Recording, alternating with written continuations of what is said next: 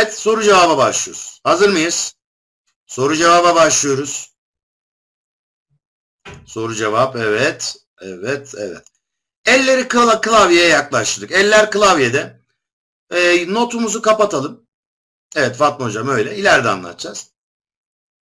Hı hı. Çok güzel. Haydi başlıyoruz. Anadolu'da kurulan ilk Türk medresesi olan Yağı Basan Medresesi hangi Türk İslam Devleti'nden günümüze kalmıştır? Yağı Basan.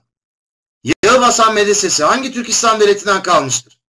Cevap danışmentler. Güzel. Peki danışmentler ikinci Türk devletlerinde hangi ismi alacaktır? Danışmentler ikinci Türk İslam devletlerinde hangi ismi alacaktır? Evet Karesioğulları çok güzel. Soruyu değiştirdim değerli arkadaşlarım. Otrar faciasını yaşayan devlet hangisi? Otrar Cengiz Han'ın yıktığı şehir. Evet Harzemşahlar çok güzel değerli arkadaşlarım. Peki soruyu değiş. Kur'an-ı Kerim'i Türkçe'ye çeviren kimdi? Kur'an-ı Kerim'i Türkçe'ye çeviren. Evet hızlı biraz hızlı. Kur'an-ı Kerim'i Türkçe'ye çeviren Akkoyunlular tabii ki. Kur'an-ı Kerim'i Türkçe'ye çeviren Akkoyunlardı. Peki soruyu değiştirdim. Taj Mahal hangi Türk İslam Devleti'nden günümüze kaldı? Taj Mahal hangi Türk İslam Devleti'nden günümüze kaldı? Babürler çok güzel. Peki Divri Ulu Cami hangi Türk İslam Devleti'nden günümüze kaldı? Divri Ulu Cami haydi. Divri Ulu Cami, Divri Ulu Cami. Evet Mengüceklilerden günümüze kalmıştır. Divri Ulu Cami Mengüceklerden günümüze kalmıştır. Peki Malabadi Köprüsü, Hasankeyf kimden günümüze kaldı? Malabadi, Hasankeyf kimden günümüze kaldı?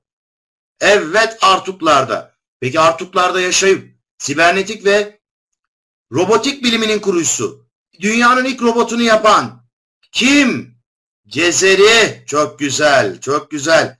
Peki, peki, peki, peki, peki. Önce Timurlular zamanında yaşamış. Daha sonra Akkoyunlara gelen ve ömrünün son iki senesini Osmanlı'da geçiren Türk İslam bilgini kim? Ömrünün son iki senesini Osmanlı'da geçiren Ali Kuşçu. Çok güzel. Peki değerli hocalarım, Mama Hatun Türbesi, Tepsi Minare, Kale Cami, Micingert Kalesi gibi eserler bırakan Anadolu'da kurulan ilk Türk İslam devleti hangisi? Anadolu'da kurulan ilk Türk İslam devleti. Evet, Saltuklar. Çok güzel. Peki ilk Türk denizcisi kim? İlk Türk denizcisi kim? Hadi bakalım.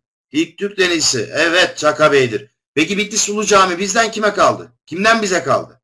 Bitti Sulu Cami kimden bize kaldı? Evet Bitti Sulu Cami. Bitti Sulu Cami Dilmaçoğullarından günümüzde bize kalmıştır.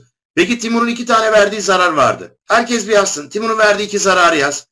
Timur'un verdiği iki zarar alayım hemen. Biraz Timur'un verdiği iki tane muhakkak. Timur'un verdiği iki büyük zararı yazalım. Herkes yazsın. Birincisi neydi? Altın Orda Devleti'ni yıkarak Rusların güçlenmesine, sıcak denizlerin inmesine neden oldu. İkincisi Ankara Savaşı'yla Osmanlı Devleti'ni fethet dönemine soktu. Çok güzel. Peki soruyu değiştirdim. Cengiz Han'ın Türk töresini kendine ilham alarak oluşturduğu yasalara ne isim verdi?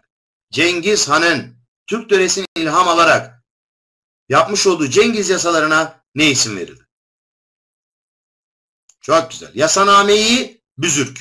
Peki Marco Polo hangi Türk İslam devletine uğradı?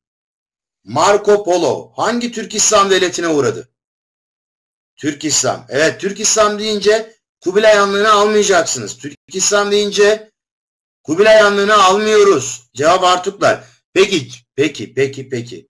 Bu dediğimiz Marco Polo eseri Il Milyon yani Yolculuk adlı eserini hangi Türk devletinde tamamladı?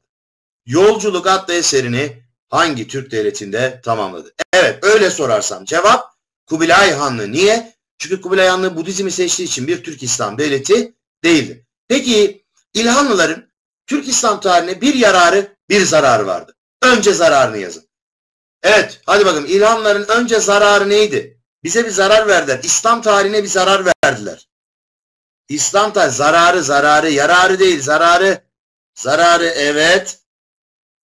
Hülagü neyi yıktı? Abbasileri yıktı. Bu da nedir değerli arkadaşlarım? Türk İslam dünyasına verdiği zarar. Peki yararı neydi? Yararı bir şeyi ortadan kaldırdı tamamen.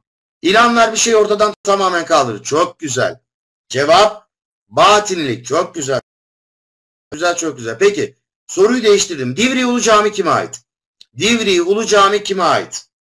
Divriği Ulu Cami 85'ten beri Evet Divriği Ulu Cami Mengüceklere aittir. Peki Mengüceklilerden bize kalan ve 1985 yılından beri UNESCO tarafından korulan eser hangisidir? Mengüceklerden günümüze kalan ve 1985'ten beri UNESCO tarafından korulan eser hangisidir? Çok güzel. Divriği Ulu Cami. Çok güzel. Peki Yağı Basan Medresesi bizden kime, kimden bize kaldı? Yağı Basan kimden bize kaldı? Yağı Basan. Çok güzel. Peki Hasankeyf, Sema'nın Medresesi, Malavadi Köprüsü kimden kaldı? Çok güzel. Cezeri kimde yaşadı? Cezeri. Cezeri kimde yaşadı? Cezeri. Cezeri Artuklar'da yaşadı. Çok çok güzel. Kur'an-ı Kerim'i kim Türkçe'ye çevirdi? Kur'an-ı Kerim'i Türkçe'ye çeviren ve Dede Korkut hikayelerini yazılı hale getiren. Evet. Akkoyunlular. Çok güzel. Şimdi bu soruları iki kez sormamın sebebi orada yanlış veren arkadaşlar var. Yanlış cevap verenler. Şimdi ise o yanlış cevap veren bütün arkadaşlarımız doğru cevaplar verdiler. Çok çok güzel. Değerli arkadaşlarım bence çok dikkat edin. Yarın görüşüyoruz. Yarın ilk Müslüman Türk Devletleri kültür ve medeniyet kısmından Allah ne ederse devam edeceğiz.